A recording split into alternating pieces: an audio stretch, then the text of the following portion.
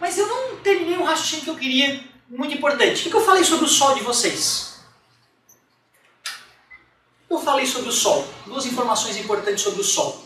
A gente vive dele. Ele é uma estrela que a gente vive dele e que ele está no estado gasoso, que o estado gasoso tende a se expandir. Então, por que, que o Sol não se expande que nem um grande pum pelo universo todo?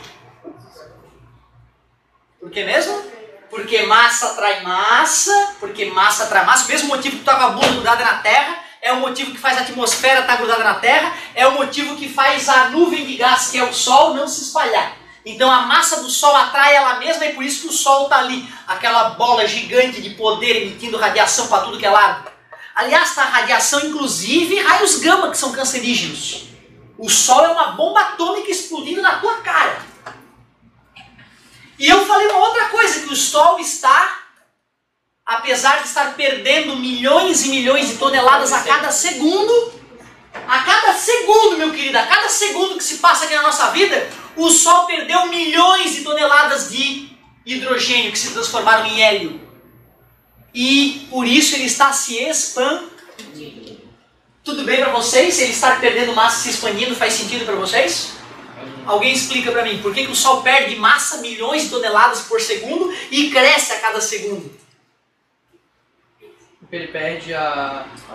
Que é perde a massa e massa atrai.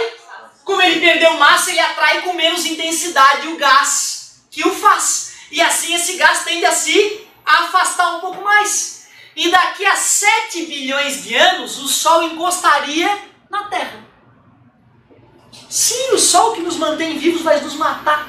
Mas muito antes de 7 bilhões de anos. 7 bilhões de anos ele encostaria na Terra. Em 1 bilhão de anos talvez seja inabitável o planeta. Qual é a única chance da raça humana não perecer? Ir para outro lugar. Como é que nós vamos ter tecnologia para ir para outro lugar? Estudando física e matemática. A única saída. Então tu vê que loucura, né, cara? Eu sou como um pastor. Eu tenho fé. Só que eu tenho fé na ciência. Eu acredito no desenvolvimento técnico e científico. E eu preciso dessa sala só uns três ou quatro engenheiros, físicos e matemáticos. O resto pode fazer biologia, geografia, medicina, direito, precisamos de todos eles. Nós precisamos de geógrafo para entender melhor o planeta, de biólogo para salvar as cagadas que nós estamos fazendo com a natureza. Nós precisamos de advogado para tirar gente, de repente, honesta da cadeia. Né? Nós precisamos de, de padre para apaziguar as almas perdidas. Nós precisamos de todo mundo. Mas um pouquinho de engenheiro e física e matemática temos que ter, senão a raça não vai sobreviver. É por isso que eu sou tarado para fazer o que eu faço, cara. E todo ano acontece, volta e meia eu tô lá na física, aparece um ex-aluno lá, ei professor, o que tá fazendo física? O quê? Tá fazendo física, cara? Ah, mais um mordidinho pelo bichinho da ciência, do saber.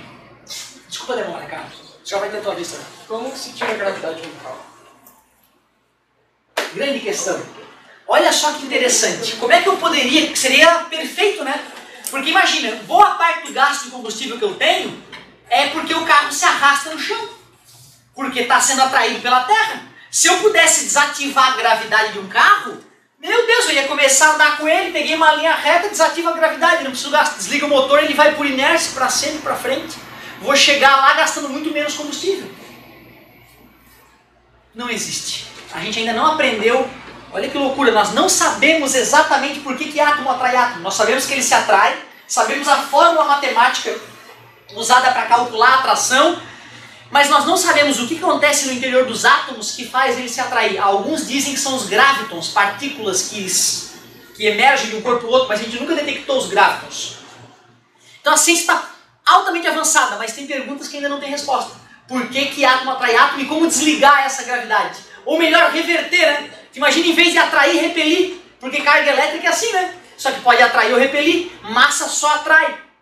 Então se a gente pudesse reverter a gravidade como repulsão, a gente ia fazer os foguetes para poder cruzar a galáxia. Então nós não sabemos isso. Aquelas câmeras de teste que a NASA eles, eles tiram a gravidade, como eles fazem? Não, eles não tiram a gravidade. Sabe como é que a gente simula a falta de gravidade no planeta Terra hoje? A gente pega um avião, faz uma câmera lá dentro para fazer as filmagens de filme, por exemplo, e o avião sobe, vai lá alto. Aí daqui a pouco o avião começa a cair, cara. Quando o avião começa a cair, a pessoa que está dentro do avião tem a sensação de estar sem gravidade, mas é porque ela está caindo junto com o avião. É assim que se filmou o filme Apollo 13. Quem já viu o filme Apollo 13? Levanta a mão, por favor, só para ter uma noção. Cara, que isso? É um filmaço em HD, Tom Hanks. E ele é simplesmente a verdade do que é um lançamento de foguete, todo baseado em fatos reais. Vale a pena ver. Por que tu não gostou, não? Ai, se eu não me engano, eu acho que é o mesmo que eu vi, tá? Bem nojento lá, o bichinho. Não, não tem O bichinho. Apolo Aquele 18. outro- Não, é, não. Galera, Apolo 18 é lixo. É filme de terror que eles mentem que não é terror pra deixar a galera que não entende nada da vida apavorado. É Apolo 13, é o filme mais antigo, Tom Hanks, no YouTube deve ter. É um filmaço, cara. Esse você vai gostar, não tem bichinho nenhum. Pelo contrário, é uma história bonita. Porque antes dos caras pousar na Lua, deu pau no modo, deu pau na nave e eles tiveram que voltar. E só conseguiram sobreviver porque o ser humano é um bicho muito doente mesmo e as melhores mentes do mundo trabalharam juntas para fazer os caras voltar. Senão os caras não tinham voltado. Por isso que virou filme e tudo mais. Mas eu, quando eu vi aquele filme Apolo 18, é Apolo 18, eu fui na internet na hora, eu fiquei puto com aquilo. Porra, que serviço, paciência, cara. Um monte de gente deve acreditar nessa merda. Fui procurar lá e vi que era bobajada e tal. Né? Mas se o cara não vai procurar, ele acha que tem um bichinho da lua comendo gente aqui na Terra.